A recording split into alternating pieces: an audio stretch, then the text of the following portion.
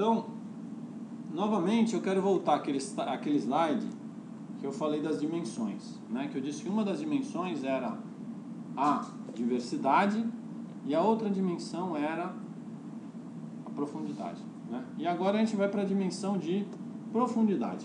A gente vai tentar entender como estudos tentam, ao invés de fazer grandes catálogos diversificando, eles tentam estudar a fundo um organismo.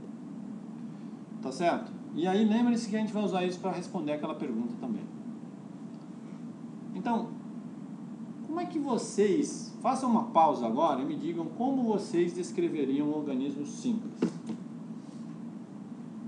Se vocês quisessem fazer essa descrição para um computador ler, como vocês fariam?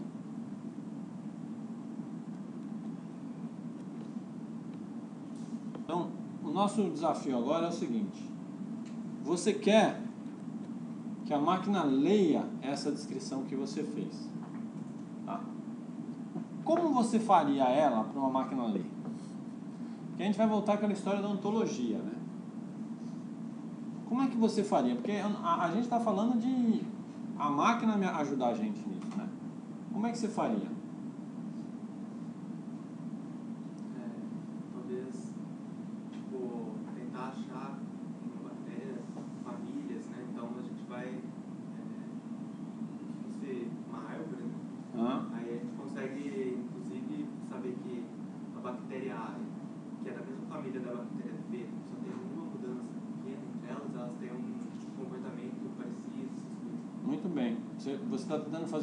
Filogenia, né? E tentando achar as características que são diferenciais, né? E é o que se faz muito, né? Por que, que a gente quer descrever para as máquinas organismos? Essa é uma questão importante. Por que, que as máquinas nos ajudariam? Porque na medida que você tem mais informações, vai ficando mais complexo, tá certo? Cruzar essas informações, trabalhar com isso, eu preciso das máquinas. Não dá para eu ficar eu, né? É, então aqui eu mostrei um exemplo que eu trouxe numa aula anterior que mostra uma coisa interessante que o cara está olhando o que que causa, por exemplo, o, uma torna a córnea opaca, né? E ele compara vários organismos. Mas para isso note que eu preciso de informação do genoma junto com informação de fenótipo. Mas, para poder comparar um fenótipo com outro, a estrutura de como eu descrevo isso tem que ser padronizada.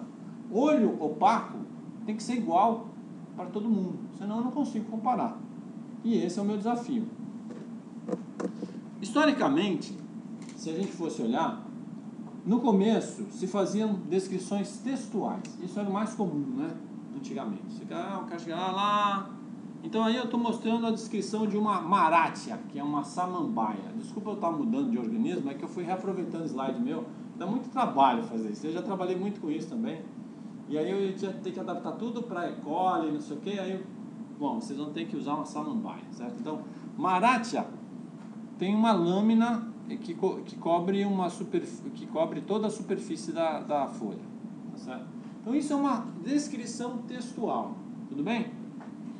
Depois, a primeira iniciativa é, foi separar Maratia, que é uma, uma, um gênero aí, né? E a descrição da Maratia. Tudo bem? O, o, a Maratia recebe o nome quando a gente fala assim, ah, pode ser uma eu posso estar descrevendo uma espécie, eu posso estar descrevendo um gênero. Todo mundo sabe essa essa essa hierarquia, né? Filo, todo mundo sabe, né? Que começou lá com Linneu, todo mundo sabe essas coisas, né? Reino, filo, todo mundo sabe essas coisas, né? Estou imaginando.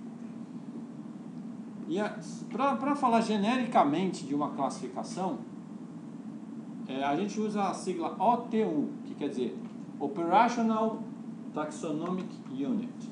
Operational Taxonomic Unit é a unidade que eu estou usando naquele momento para analisar o organismo, que pode ser um gênero, pode ser uma espécie, depende do que eu estou fazendo, tá certo?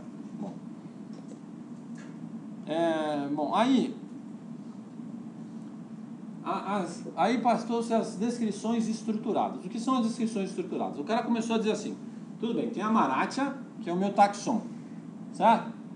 Depois tem o que, que eu quero descrever, que eu vou chamar de character, que é a característica. Então eu quero descrever, por exemplo, como é a cobertura da folha, certo?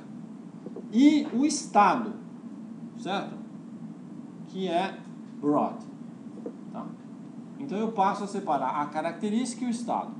Então a característica poderia ser cor do olho, certo? O estado, marrom. Cor do olho, estado, verde. Então eu poderia, né? Eu separo. Tá? E aí eu vou mostrar para vocês que isso já ajudou bastante. Então você passa a ter descrições onde você tem a característica e o estado. Estado. Então aqui está um exemplo típico. Eu estou descrevendo esse, esse, esse lagarto Varanus bengalensis e as características dele e o estado. Por exemplo, a cor da língua é roxa, a origem é na Ásia e assim por diante. Eu posso ir descrevendo. Né? A, a forma do focinho, triangular. Tá? Então, há sistemas que são usados para fazer esse tipo de descrição. Tá? Por exemplo, o Expert 2 é um sistema de, que foi desenvolvido na França né, por esse laboratório que é, é, a gente teve por muitos anos um convênio, trabalhando em conjunto, e era um, é um sistema que é usado para fazer esse tipo de descrição. Como é que o Expert funciona?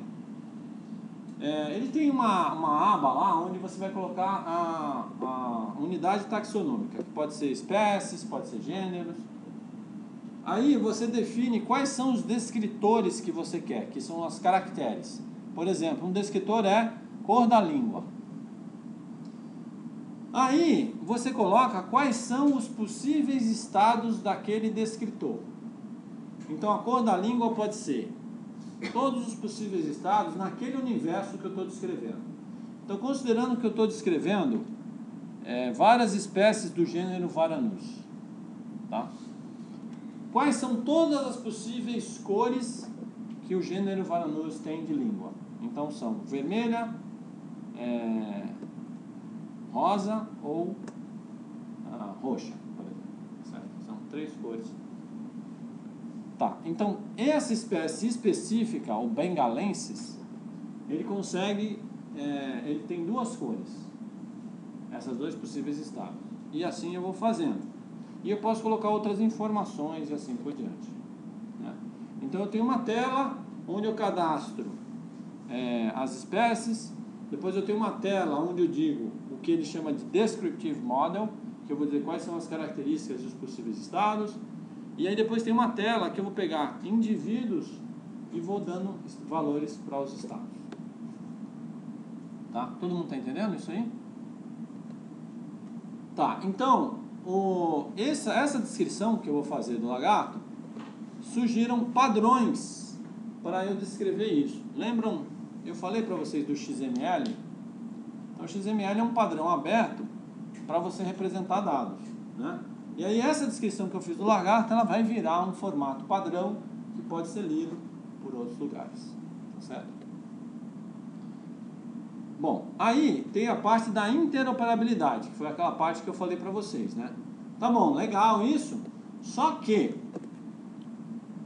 há várias iniciativas que usam padrões diferentes entre si. Então vocês estão olhando aqui o GBIF, tá vendo o GBIF que eu falei para vocês? ou a Enciclopédia da Vida, ou o Expert, ou cada um desses sistemas usa um padrão que nem sempre conversa com outro padrão. Tá? E isso vira um problema quando eu quero comparar descrições. Tá certo? Antes de falar de como a gente resolve isso, vamos falar sobre a árvore filogenética, que você falou. Como é teu nome mesmo? Tiago. O Tiago mencionou, né? Uma forma importante de analisar os organismos é tentar criar uma árvore filogenética. Então, basicamente, o que você faz é o seguinte: você vai tentar pegar aquele grupo que você está estudando e fazer uma matriz de comparação entre eles. Tá certo? E a partir dessa matriz, você vai tentar achar quais são as coisas que estão em comum e quais são as coisas diferenciais. Você consegue fazer isso também com código genético, tá certo? Eu estou mostrando a forma que a gente usa usando fenótipo, né? mas dá para fazer isso com código genético também. É, e aí você consegue ver interseção de valores, etc. A partir dessa matriz, tem software especializado. Aqui tem um software chamado é, Lisbeth, que é um software que você vai pegar essa matriz, você importa essa matriz, e ele vai te ajudando a construir uma árvore filogenética. Como é que essa árvore filogenética é construída? Eu vou tentar achar, dada a minha matriz descritiva, tá certo? E dados dois organismos, eu vou tentar achar quanto, é, em que momento eles se diferenciam, certo? Tá? Então eu tento achar o que eu chamaria de um ancestral comum, certo? Por exemplo, tem dois organismos, a e o Exetum, certo? É... Não, é. Que eles é, têm uma, têm uma característica comum, que é o pinole shape, é não indentado. Então, eles têm um ancestral comum, que é esse cara aqui, o não indentado. Depois, todos esses caras têm um ancestral comum mais, mais, maior. Né? Então, eu vou, eu vou analisando essas, é, é, essa, esses ancestrais pela diferenciação na matriz, eu vou construindo essa árvore, vendo quem tem mais coisas em comum, quem tem menos coisas em comum, em que momento isso se diferenciou. E eu vou fazendo esse estudo e eu consigo construir uma árvore filogenética. Eu consigo fazer isso também usando o DNA. Tá? Mas essa é uma forma como eu uso fenótipos para fazer isso. Nos últimos anos tem se usado a tentativa de fazer grafos para descrever essas coisas, tá certo? É, e como é que os grafos são usados? Né? Aí entra aquela história das ontologias, lembra que eu falei para vocês? Você vai tentar pegar essa descrição e pensar ela como se fosse um grafo onde você tem alguma coisa que está sendo escrita, uma propriedade e um valor, né? Então, é, eu poderia olhar esse bengalensis, que é essa ficha, character, character state, e poderia representar ela num grafo. Né? Mas só representar no grafo seria a primeira, primeiro passo. Porque vocês lembram que eu falei nas ontologias que eu gostaria de identificar termos de forma única. Lembram disso? E isso passa a ser um desafio. Né? Então, o primeiro passo que tem muito, todo mundo está adotando é o que eles chamam de Life Science Identifier. O que é um Life Science Identifier? Ao invés de ficar usando textos de nomes, eu vou pegar lá uma espécie, por exemplo, ou seja lá o que eu quiser, e vou dar um identificador único, que é um número. Então, por exemplo, o lagarto varanus, ele passa a ter esse LSID, esse Life Science Identifier está escrito. Toda vez que eu quiser falar dele, e isso é uma URI também, lembra que eu falei de URI? Toda vez que eu quiser falar do lagarto faranus, agora eu uso esse Life Science Identifier. Então isso vai permitir unificar todo mundo para todo mundo saber que a gente está falando da mesma coisa. Tá? Mas isso é só um passo. Eu acho que a gente, é, esse pessoal está trabalhando para unificar outras coisas usando a parte semântica. Deixa eu explicar o que, que isso quer dizer. Aquela descrição character, character trait, ela passa aí para um outro nível que a gente vai chamar de descrição semântica. O que a descrição semântica tenta fazer? Ela tenta separar, ela usa uma técnica chamada entity quality, que é a entidade que está sendo descrita e a qualidade que eu estou atribuindo a essa entidade. Então eu vou mostrar como é que isso funciona. Tá? Imaginem que eu tenho o lagarto varanus, cujo label, que eu vou chamar o nome dele, né, para a pessoa, seria Varanus brevicauda. Né? Bom, é, vamos dizer que é, eu estou falando que o lagarto varanus ele tem uma cauda spinning, seria spinning fina? Deixa eu lembrar o que é spinning, que Quem é que me lembra o que é spin? Deixa eu ver aqui o que é spin. Nossa, já tem tempo que eu não. É, já tem tempo que eu não. Spin. Ah. Espinhoso. Então, uma cauda espinhosa. Tá certo? Então, o lagarto varanus tem uma cauda espinhosa. Tá certo? Como é que eu descreveria isso semanticamente? Tá certo? Bom, primeira coisa, existe o que a gente chama de é, entidade. Tá? O que, que é entidade? A entidade é o que eu estou descrevendo. Certo? Tudo bem? O que parte do Varanus eu estou descrevendo. Então, quando eu estou falando que parte, há várias ontologias, lembram do Biontology? Há várias ontologias que classificam as partes de seres vivos. Então, tem uma ontologia das partes do ser humano, tem uma ontologia das partes de um peixe. Na verdade, eu coloquei o Teleost Anatomy Ontology, mas isso aí é uma ontologia das partes do peixe. Não é do lagarto. Eu só, eu só reparei essa falha agora. Mas, se você entrar aqui no Biontology, Biontology, dobra. Se você entrar no Biontology, né? Então, você diz assim, bom, eu quero uma ontologia que tenha, por exemplo, deixa eu ver se tem alguma coisa que fala da anatomia da bactéria. Deixa eu ver se tem. Não existe. Anatomia. Bom. Anatomia. Tá vendo quanta coisa de anatomia? Tem de anfíbio. Talvez tenha batilos. C. elegans. C. elegans é uma bactéria. C. elegans. Anatomy. Quem é C. elegans? É uma bactéria? É, né? Estamos ruim, hein, pessoal? C. elegans. Ah, não. C. elegans é um verme. É isso? C. elegans é um verme. Nematódio. Interessa C. elegans mas tem uma ontologia para a anatomia do C. elegans, tá vendo? Se eu escrever anatomy só aqui, eu acho que ele vai mostrar todas as ontologias que são voltadas a... É, não, eu tenho que dizer qual é a que eu quero. Deixa eu ver o que, que tem aqui. Cereal plant, Siona intestinalis. Talvez isso aqui seja... Né? Será que tem alguma coisa do E. coli? Deixa eu botar o coli aqui. Não. Bactéria não tem. Bom, tem da drosófila, tá vendo? Fungos. Tem o Human. Human Developmental Ontology.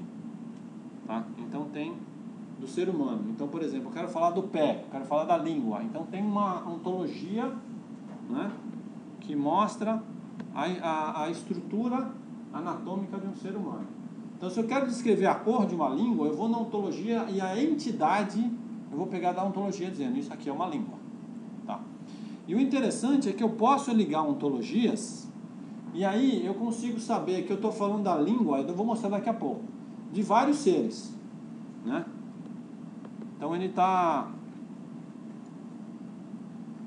ele está trazendo aqui. Todo mundo entendeu isso? Bom, é, então, de um lado, eu tenho o que eu vou chamar de entidade. É o que eu estou descrevendo. E isso vem de uma ontologia. Tudo bem? A outra coisa é a qualidade. Certo? Que é espinhoso. Né? Textura espinhosa. Então, a qualidade vem de uma outra ontologia chamada pato. É uma ontologia que tem sido usada para descrever qualidades de tudo, sobre todos os seres. Não só do lagarto, do ser humano, porque aí eu posso comparar. Né? Eu quero saber que uma cor é de cor, alguma coisa tem cor vermelha. Por exemplo, língua vermelha. Eu quero comparar a língua vermelha de um sapo com a língua vermelha de um ser humano. Eu posso comparar porque eu estou usando a mesma ontologia que usa o mesmo conceito para falar da mesma coisa. Certo? Todo mundo entendeu isso? Então, com isso, eu consigo fazer a máquina comparar para mim os seres. Tá certo? Bom, é, então, é, tá, o, o Marathia como entity quality, também eu faria a mesma coisa. Eu poderia ter, tem, tem uma ontologia chamada Plant Ontology, né, e existe essa ontologia que tem as partes de uma planta. Aí eu posso dizer que a folha, né, isso é uma entidade, tá certo? Aí tem um, uma qualidade no pato que é webbing, que é como ela está é, ela cobre a superfície, e broad. Tá? Então eu uso o pato para comparar as coisas. Certo? Bom, daí a gente vem para um outro tópico, porque a gente está falando de descrição. Existe o que se chama de model organisms. Quem já ouviu falar de model organisms? Nunca ouviu falar de model organisms? Bom, suponha que eu quero estudar organismos, certo? Só que na verdade, o empenho para eu estudar todo o comportamento de um organismo é gigantesco. Né? Processos químicos, como ele reage, como ele se comporta. Então, na história, o que tem sido feito é que você escolhe um organismo modelo para estudar aquele grupo de organismos. Por exemplo, é, já ouviram falar da Drosophila melanogaster? Você deve ter estudado isso na escola. É uma mosca é a mosca mais estudada de todos os tempos. Né? Então ele é um modelo para estudar insetos, por exemplo, a mosca. Né? É, a, a E. coli é a bactéria que foi escolhida para ser estudada com modelo de bactéria. Então é a bactéria mais estudada de todos os tempos. Eles testam os processos químicos, tarará, tarará, todos os detalhes do E. coli. Tá certo? É, o, aí tem vermes, né?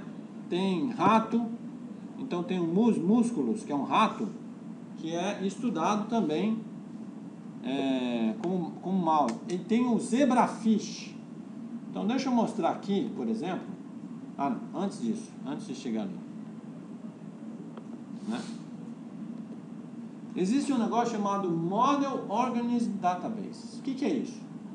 Eu estudo profundamente um certo organismo. Mas onde é que eu guardo essa informação? Onde é que eu registro isso?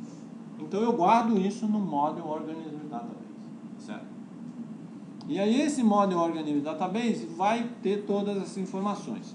Então eu vou dar exemplo, eu não coloquei aqui nos slides, mas de dois que eu conheço. Ah, deixa eu mostrar para vocês aqui o Human, Anatomia do Ser Humano. Aí você vai ver aqui Tá vendo? Se é embryo,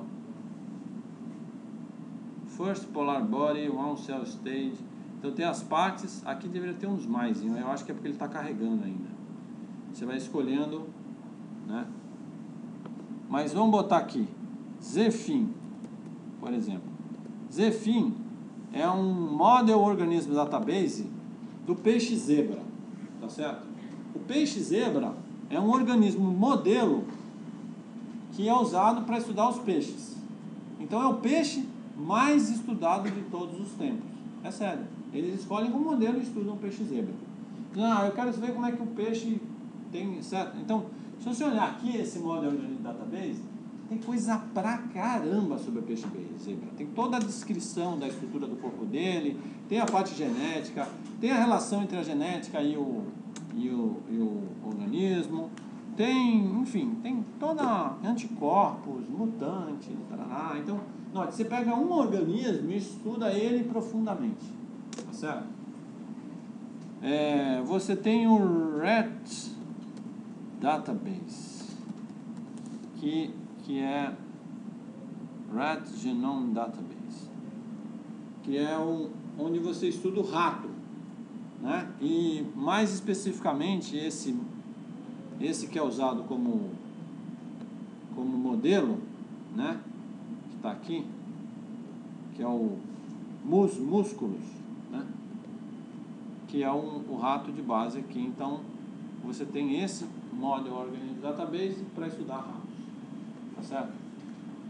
Então, é, todos esses caras, eles têm informações sobre, todo mundo entendeu o que é o Model Organism Database? Então aqui é a mesma coisa, você vai ter toda a parte de genes do rato, né? quais são as, as variantes, doenças que aquele rato pega, tudo. Ah, eu quero testar se um certo, ah, como se comporta. Também, porque os Model Organism Database vão servir também, os Model Organisms também servem para experimentar coisas que serão usadas em seres humanos, por exemplo. Isso também é verdade. Hã? Eu não sei como ele escolhe a espécie, eu não faço a menor ideia. Talvez pode ser pela tradição, assim, alguém começou com aquilo e aí, como já tinha um investimento inicial, todo mundo seguiu aquilo ali, eu não sei. Ou se é porque é uma espécie mais fácil de lidar, de, de criar. De... Bom, certamente tem algumas características da espécie que ajudam, né? O fato da facilidade de você multiplicar aquela espécie em cativeiro, dela viver bem em cativeiro, né? De, de, de ela não ser agressiva. Então deve ter algumas características da espécie que certamente vão servir como fator de escolha. Mas eu não sei exatamente todas as. O que que fez o cara escolher aquilo teria que dar uma lida para ver. Mas é uma pergunta interessante. O que é que faz alguém se querer escolher como modelo um certo organismo? Né?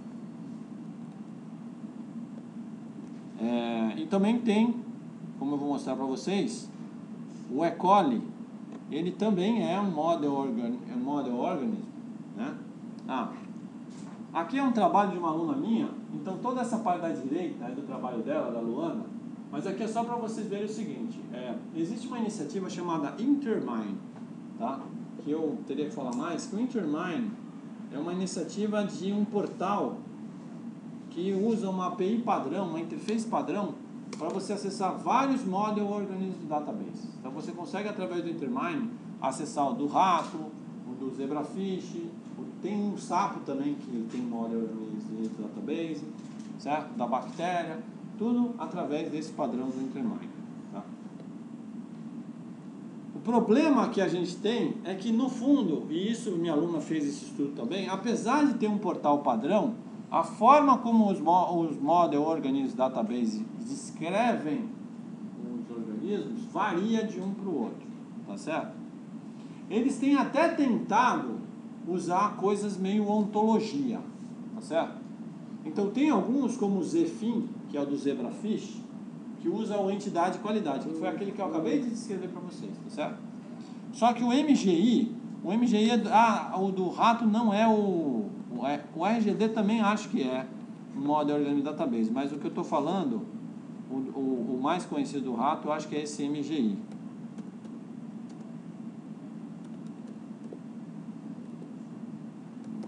Database, né? MGI.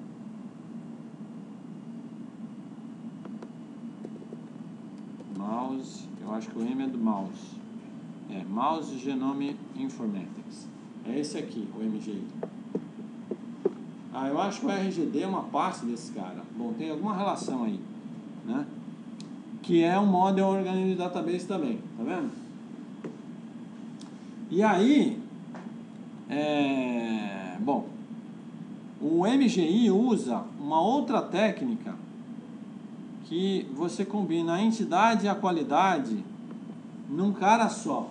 Então, Blue Iris, por exemplo, que seria essa característica, enquanto na entidade e qualidade é separado, no MGI é uma coisa só. E é um outro tipo de forma de fazer as coisas que acaba sendo meio incompatível com essa aqui. Né? Aí tem iniciativas como Uberon e o Uberfeno, que eles estão fazendo o quê? Eles estão conectando diferentes bases é, de descrição, tá certo? Então o que, que o Uberon faz? O Uberon ele tenta unificar a parte de entidades, tá certo? Então, é, nem todo mundo está usando aquela coisa do pato centralizando. Então o Uberon tenta conectar as coisas.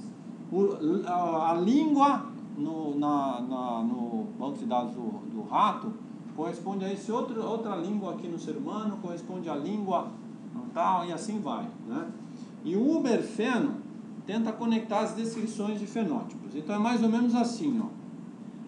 Imagina que eu tenho íris descrita em vários Model Organ Databases aqui, né? de formas diferentes. Aí o Uberon, ele conecta essas, essas entidades numa entidade só da, do Uberon, que é isso. Ah, o Uberfeno, ele vai para o lado da qualidade. Por exemplo, Blue, Blue Iris, que seria a íris azul, que é uma descrição completa.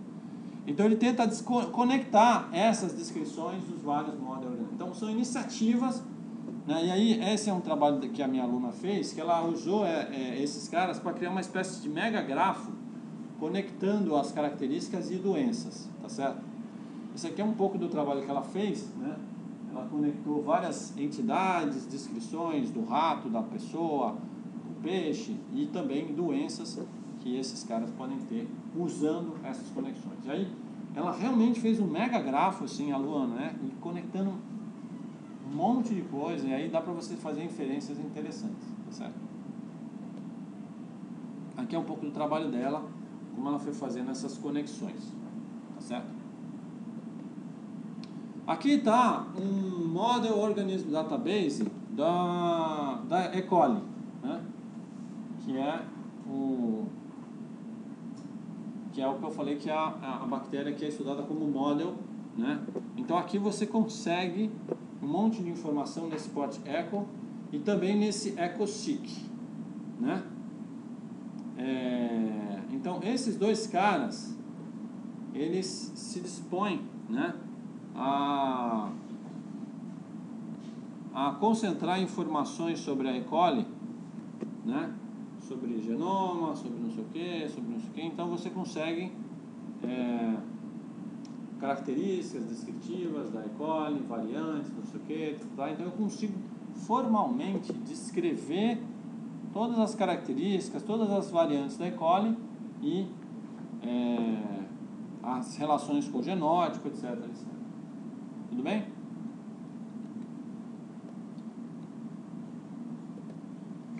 Aí tem o EcoSeek. Bom, então na verdade essa parte encerra essa segunda parte da aula. E aí eu quero voltar agora